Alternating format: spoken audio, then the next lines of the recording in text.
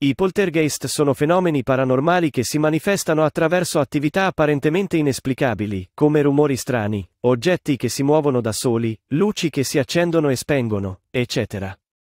Il termine poltergeist deriva dalla lingua tedesca e significa è fantasma rumoroso e o è fantasma chiassoso. Questi fenomeni sono spesso associati a case o luoghi specifici e sono stati oggetto di numerose storie e leggende nel corso dei secoli. Molte persone credono che i poltergeist siano spiriti o entità malvagie che disturbano e terrorizzano le persone.